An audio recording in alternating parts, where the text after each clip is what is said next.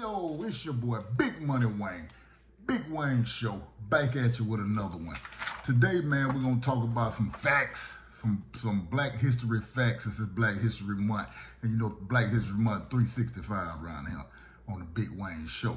All right, man. You ever heard the phrase "starving like Marvin"? You know what I mean? You ever wonder where that come from? Somebody starving like Marvin. Like who the hell is Marvin? At Big Money Wayne Enterprise, we have found the legendary Marvin. Uh, his name is Marvin Jenkins. Back in 1971, check this out. Back in 1971, in Pontotoc, Georgia, Marvin Jenkins with a group of his partners just kicking it. And um, they decided to smoke a little reefer hanging out with the boy, they smoking a little reefer. For you young folks that know what, what reefer is, that uh that's that live, but it's kind of like mid, you know what I mean? So anyway, back to it. So they smoking reefer. This is um, Marvin Jenkins' first time ever smoking with the boys. As you can see him in the picture right there with the arrow, that's Marvin Jenkins. Um, after he got through smoking, you know, a lot of the fellas like, hey man, let's go to McDonald's, get some food. So everybody goes to the local McDonald's Everybody ordered a number two.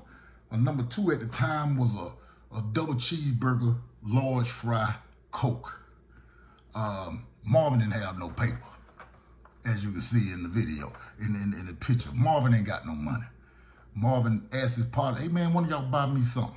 They laughed and they climbed him, uh, uh, uh, rolled on him, fired him up. You know, Marvin was starving. You know what I mean? They wouldn't even give Marvin a fry. Marvin was like, I'm starving, man. God, no, he's so hungry. Marvin got into a rage. Some people say it was like he turned into a tornado. You know what I'm saying?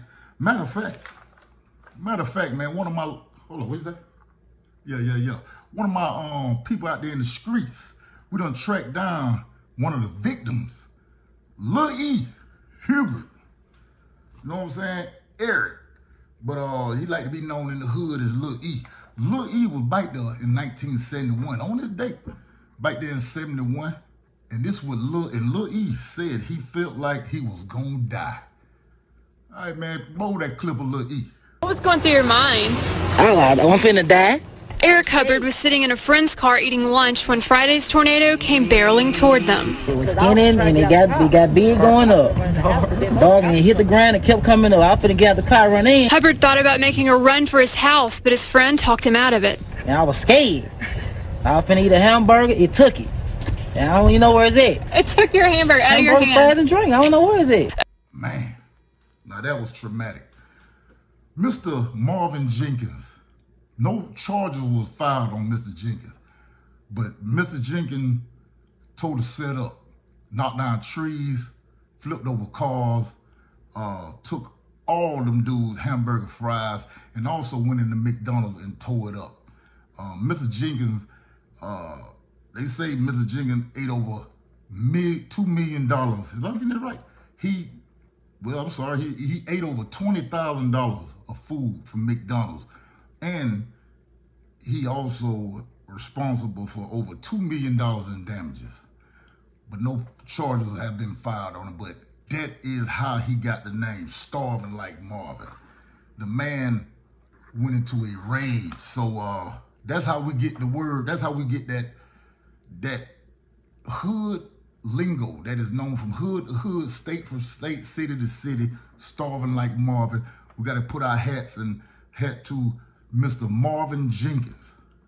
Back in 1971, hanging with the boys and caught the munchies. And he is the reason why we say starving like Marvin. For more stories like this right here, man, hit your boy up. Big Money Wayne, Big Money Wayne Show. And you know I got you, man. Stay tuned. If you ain't follow, follow. Share this thing. It's going up. B.I.G. Big Money Wayne Studio. And like I always say, stay blessed. Let